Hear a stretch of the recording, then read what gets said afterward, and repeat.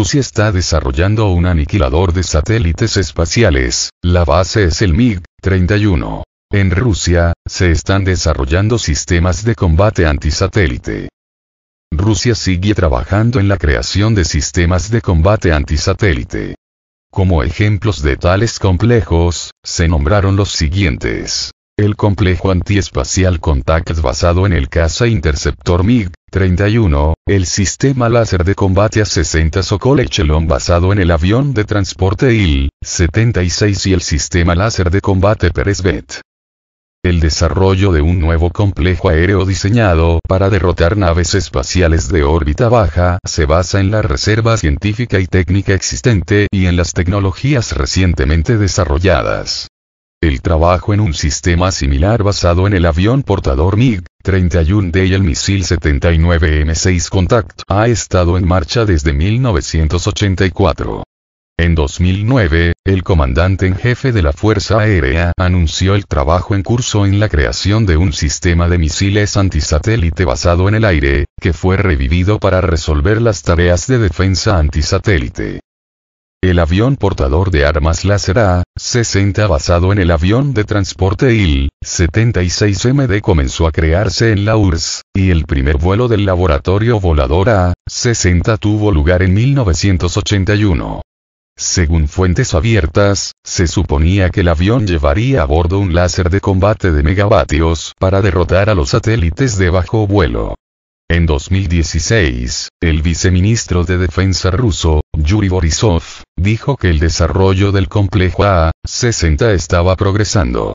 En 2020, el Beriev TNTK emitió una patente para el avión portador desarrollado del sistema láser de combate, incluido un modelo informático de la aeronave basado en el transporte militar IL-76MD-90A. Por lo tanto, Rusia continúa trabajando en la creación de sistemas de combate antisatélite, incluido el desarrollo del complejo antiespacial Contact basado en el MiG-31 y los sistemas láser de combate basados en aviones IL-76. Estos sistemas antisatélites se pueden utilizar para la defensa contra naves espaciales enemigas, así como para golpear objetivos en el suelo. El uso de sistemas láser de combate permite destruir satélites de bajo vuelo y vehículos aéreos no tripulados del enemigo.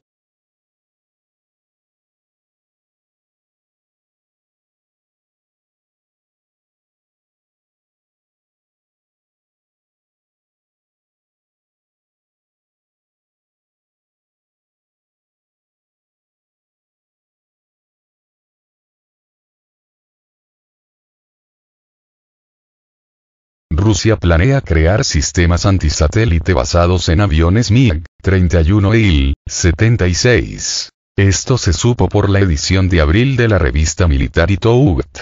El caza interceptor MiG-31 se utilizará para instalar el complejo de defensa antiespacial Contact, y el avión de transporte Il-76 se utilizará para acomodar el sistema láser de combate A-60 Sokol Echelon. Además, Rusia ya tiene un sistema láser de combate Peresvet. Estos sistemas, según la publicación, pueden desactivar satélites sin crear nuevos desechos espaciales en órbita, quemando la electrónica de los objetos afectados. La publicación señala que los sistemas antiespaciales, especialmente los sistemas láser de combate, son un componente importante para contrarrestar las amenazas modernas, como el espionaje espacial y los conflictos armados en el espacio. Se pueden utilizar tanto para proteger sus objetos espaciales, como para atacar objetivos espaciales enemigos. Sin embargo, los expertos señalan que la creación de sistemas antiespaciales causa preocupación entre otros países y podría conducir a una nueva ola de la carrera de armamentos en el espacio ultraterrestre. También hay preguntas sobre la posibilidad de control y transparencia de las acciones en el campo espacial.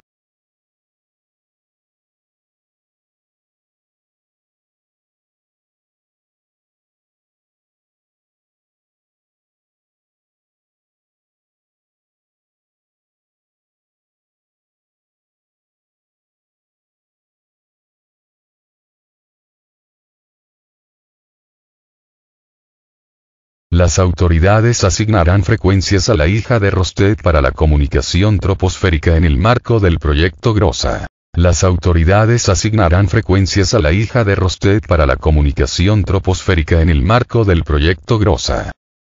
La Comisión Estatal de Radiofrecuencias, SCRF, que se dedica a la distribución de recursos de radiofrecuencia en Rusia, discutirá en su próxima reunión la asignación de frecuencias para el desarrollo de las comunicaciones de radio troposféricas para la hija de la Corporación Estatal Rostec, NPP Radios Vías.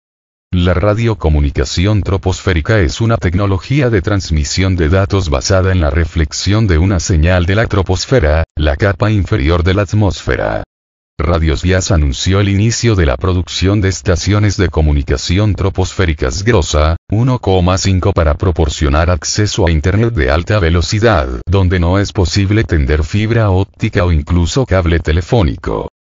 El SCRF también considerará una solicitud para la recepción de frecuencias para investigación científica, experimental, experimental y trabajo de diseño en el campo de las estaciones de radiocomunicación troposféricas digitales, presentada por el Instituto de Investigación de Radio, FGB UNIR. Radiocomunicación solicitó la asignación de frecuencias en los rangos de 4435 hasta 4555 MHz, y 4630 hasta 4750 MHz, para la operación de Grosa, 1,5, que proporcionará comunicación a una distancia de hasta 210 km con una velocidad de transferencia de datos de hasta 45,5 megabits por segundo. Según el representante de Rostec, el proyecto permitirá organizar la comunicación en áreas de difícil acceso donde el uso de otros métodos de comunicación es técnicamente imposible o financieramente poco práctico. El Instituto de Investigación Radioeléctrica solicitó bandas de frecuencias de 4500 a 4575 MHz, y 4695 a 4770 MHz, para desarrollar estaciones de comunicación troposférica digital que puedan utilizarse para formar canales alternativos de comunicación por satélite en zonas de difícil acceso. El director general del instituto, Oleg Ivanov, cree que la introducción masiva de estos sistemas eliminará la desigualdad digital de los territorios de Rusia.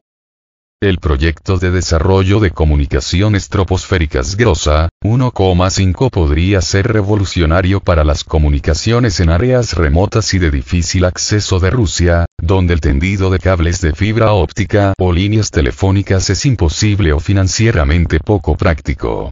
Además, dicha comunicación se puede utilizar para organizar la comunicación de emergencia en situaciones extremas. El Instituto de Investigación Radioeléctrica también ha recibido permiso para utilizar frecuencias para la investigación científica en el campo de las estaciones de radiocomunicación troposféricas digitales. Su objetivo es desarrollar y estudiar las características técnicas de nuevos dispositivos que puedan utilizarse para formar canales de comunicación alternativos en zonas de difícil acceso, especialmente en Siberia y el lejano oriente. Pueden ayudar a eliminar la brecha digital entre los diferentes territorios de Rusia. Se espera que la reunión de la Comisión Estatal de Radiofrecuencias se celebre a fines de abril, y luego se tomará una decisión sobre la asignación de frecuencias para el desarrollo de la radiocomunicación troposférica. Si todo va bien, habría nuevas oportunidades para el desarrollo de las comunicaciones en Rusia y la mejora de la comunicación en áreas remotas y de difícil acceso.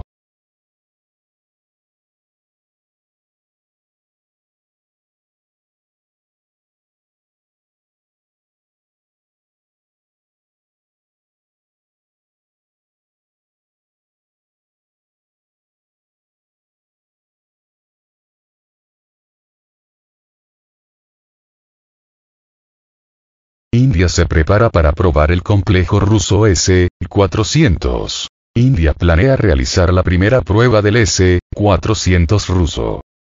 Un portavoz del Ministerio de Defensa de la India dijo a la agencia de noticias ANI que en un futuro próximo el país planea probar el sistema de misiles antiaéreos S, DC-400, que fue comprado a Rusia. Durante las pruebas, se planea disparar usando misiles de corto o mediano alcance contra un objetivo aéreo de rápido movimiento. El representante del ministerio señaló que el sistema de misiles antiaéreos ruso tiene misiles capaces de derribar cazas o misiles de crucero a un alcance máximo de 400 kilómetros. También agregó que las Fuerzas Armadas indias ya han realizado un lanzamiento desde estos complejos durante las pruebas en Rusia, pero aún no han probado el sistema en la India. Rusia e India firmaron un contrato para el suministro de S-400 en octubre de 2018. India se convirtió en el tercer comprador extranjero de estos complejos después de China y Turquía. La compra incluye 5 kits de regimiento, que costarán a la India 5.430 millones de dólares. India ya ha adoptado las dos primeras baterías de sus sistemas de misiles. Al mismo tiempo, India declaró recientemente que Rusia tenía problemas con el suministro de los conjuntos restantes de S-400, como afirma la edición india de The Economic Times, debido a la falta de componentes que cayeron bajo las sanciones occidentales.